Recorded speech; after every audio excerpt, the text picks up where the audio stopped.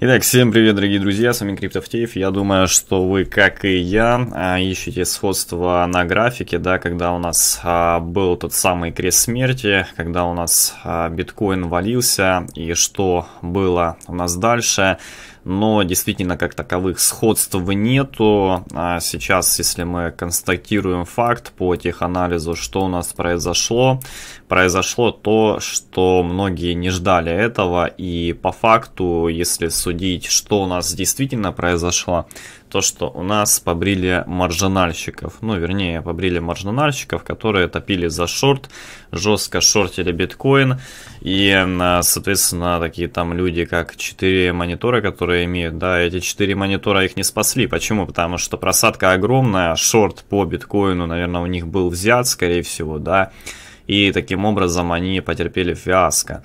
Поэтому сейчас, если мы рассматриваем, что будет с биткоином, действительно, опять-таки, я считаю, что здесь нужно работать от психологической отметки 10 тысяч долларов и сейчас тупо заходить в сделку из-за того, что просто вам так захотелось, да, или просто из-за того, что все выросло, но это как бы не совсем технично и я считаю, что это отчасти глупо.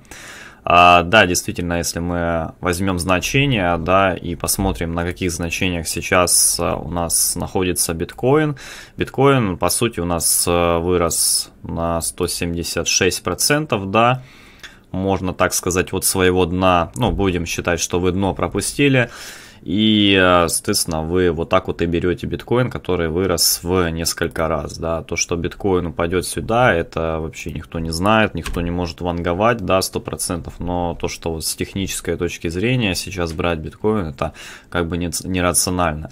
И тем более, я думаю, что вы согласитесь, что если вы сейчас берете биткоин, то это не гарантированная сделка. О чем я говорю? О том, что по биткоину у нас тренд сломлен, а поскольку сломлен тренд и он непонятен, да, после вот такого уже нельзя сказать, что у нас медвежий тренд. Почему? Потому что цена биткоина, тело свечей торгует свыше 200 и 50 и, соответственно, тот, кто скажет сейчас, что у нас медвежий тренд, он будет уже не прав. Он был прав до этого, когда он заявил там, не знаю, в июле, что у нас будет э, крест смерти, как мы заявляли в VIP-канале. А, в июле как, э, собственно, сделает ретест на альткоины. Но сейчас уже, если заявлять, что у нас медвежий тренд, нет. поэтому, поэтому будьте гибкими, да, и, и переобувайтесь, да, записывайтесь ко мне на гимнастику, приходите, будьте гибкими и подстраивайтесь под рынок криптовалюты, иначе он вас будет иметь. А, но, тем не менее, шутки шутками, но сейчас что-то мы видим, что альткоины немного сдуваются, Neo у нас очень хорошо вырос, дал X2, 2, практически очень хорошая прибыль здесь получилась, но э, дошел почти до 13 долларов и сдулся, а пока что на 11, я не скажу, что Neo сдулся, но такая коррекция, она в принципе после такого роста, она нормальная. Qtum пока что китайские проекты у нас э, такие на коррекции скорее сейчас. И если мы рассматриваем опять-таки ретест на по новой, по Neo там отметка 6 долларов, да, там 6.50, 7 долларов за монету, то не знаю, какой смысл сейчас сдувать этот инструмент, скорее всего здесь а, готовится какой-то разводняк с последующим ростом. Очень интересно, надо будет посмотреть, если что там сигнала на перезаход я в вип-группе дам. А что касается, значит, Binance, то, что они заявили, что переход эфириума на Proof of Stake может вызвать новый тренд среди криптопроектов. И Proof of Stake является механизмом поощрения участников блокчейн-систем к формированию консенсуса на основании ряда факторов, главным из которых является выделяемая ими доля собственных токенов проекта для получения статуса валидатора. А для этого вам необходимо иметь 32 эфириума. И, а, соответственно, действительно здесь говорится про эфириум, про то, как это, в принципе, повлияет на криптовалюты потом. Но ничего такого интересного здесь нету, то есть э, есть очевидный рост экосистемы стейкинга, и он продолжается, сетевой эффект, вероятно, будет привлекать к ней все новых и новых игроков. Для проекта включения механизма стекинга в систему управления может предоставить дополнительный инструмент привлечения заинтересованных пользователей. Эфириум готовится переключиться на Proof of Stake, а значит блокчейн-пространство может быть вынуждено начать принимать в расчеты стекинг, и чем раньше, тем лучше. Ну, собственно, здесь говорится о том, что рано или поздно, конечно, эфириум а, сделает переход на Proof of Stake. Э, да, действительно, он будет не сразу.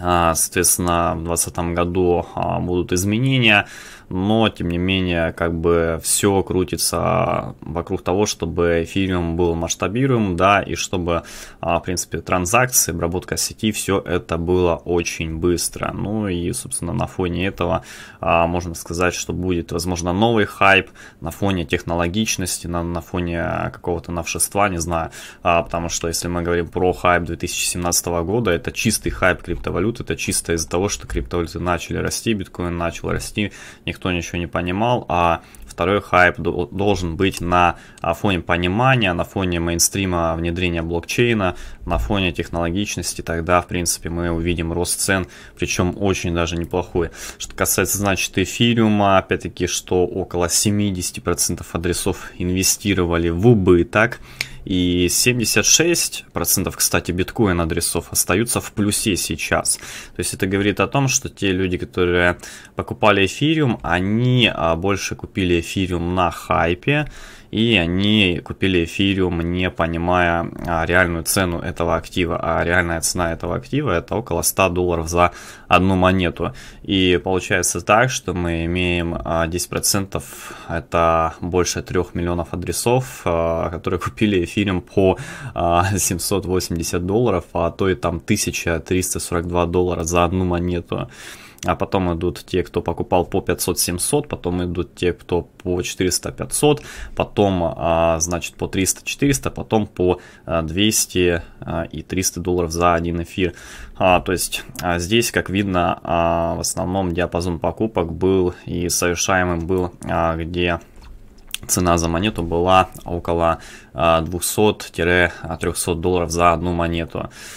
Ну, что можно сказать? То есть, а, по сути, я не могу сказать, что это плохая инвестиция, а, потому что эфириум, как ни крути, он развивается, и он будет продолжать это делать, в особенности, там, если мы говорим про эфириум 2.0, то есть монета останется, чисто будет апгрейд сети, чтобы вы понимали, да, то есть не будет хардфорка никакого, а чисто апгрейд сети.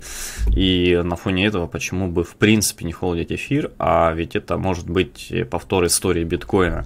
Потому что эфириум, он уже длительное время себя зарекомендовал и удерживает второе место по капитализации.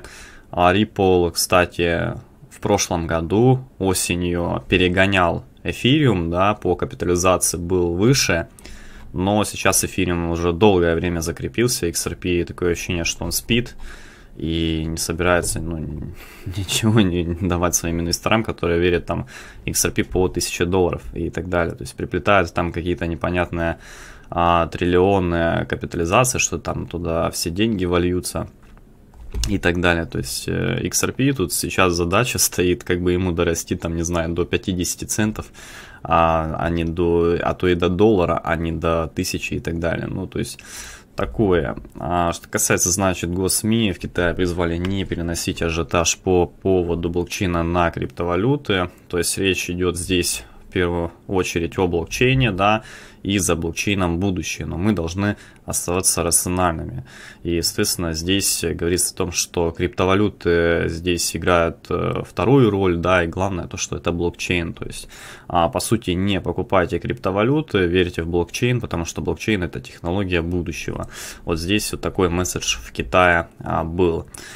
То есть э, блокчейн да, криптовалюты нет, можно так сказать коротко. А что касается Binance, то что и Binance, и BitMEX, они показали рекордный объем торгов биткоин фьючерсами на выходных.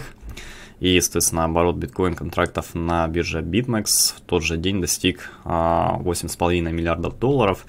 И мы видим, что также, в принципе, а, на Binance были очень хорошие показатели.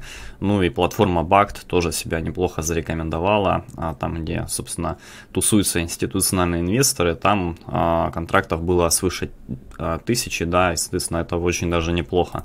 Что касается Джихан Ву, он вернулся на должность руководителя Bitmine, Bitcoin Cash при этом прибавил 11%. Ну, чисто спекулятивная новость.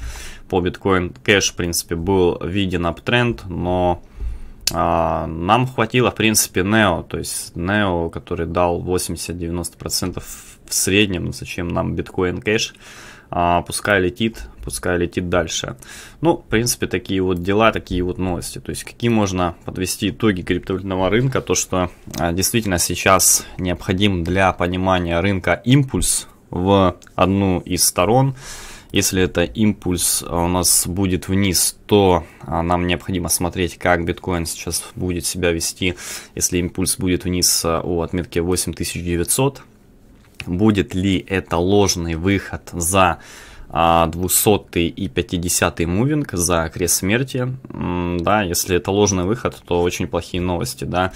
Если же выход не ложный и биткоин сюда, возможно, вернется, потрется, потом пойдет наверх, то это очень позитивно с точки зрения того, что 19 год, а, значит, будет повторять историю 17 года. Многие, кто сейчас э, разуверились, разуверились в альткоинах, они не понимают такой вещи, что биткоин доминанс падает только тогда, когда инструмент отыграл. Сейчас биткоин доминанс только скорректировался и он не падает. Что это означает? То, что биткоин могут гнать еще выше, да, и, соответственно, это будет что-то наподобие вот этого, да, то есть его будут гнать выше, и когда биткоин достигнет пика и будет стоить там около там, 30 тысяч долларов, вот тогда будут, в принципе, производить слив. При этом, когда будет слив, альткоины а, дадут сверхприбыль. А, в принципе, та же самая схема по заработку, по разводу толпы. А сейчас толпа думает, что так как биткоин доминанс у нас в принципе как бы якобы уже падает, то, соответственно, сейчас будут альты расти. Нет, они будут расти вместе с биткоином, это я, в принципе, не отрицаю, но существенный рост будет тогда, когда биткоин будет полностью валиться. И это вот посмотрите, 17 год, январь, в январе росли именно альткоины. В январе а эфириум вырос до 1000 400 долларов, да, это был январь 13 -го. Это было в январе. Биткоин вырос, а, значит, в декабре, в 20-х числах он имел свой пик. Поэтому есть заблуждение людей, которые, возможно, ну, недавно просто пришли на рынок или не дружат с криптовалютным рынком, или еще с откуда-то пришли, непонятно. У биткоина был пик в декабре, у альткоинов был пик в январе. Это нужно понимать. Поэтому я считаю, что схема ну, остается той же и как бы она не изменится. Потому что альткоины с биткоином, они будут расти, но они будут расти не сильно, они будут существенно расти только тогда, когда биткоин будет уже а, очень хорошо падать. А это необходимо по логике вещей а, смотреть за перехаем, да, вот здесь у нас должен быть перехай и перехай двадцатки. После этого тогда уже можно сливать и, в принципе, фиксировать профит. Ну, как бы так. Все, всем удачи, всем пока и до новых встреч.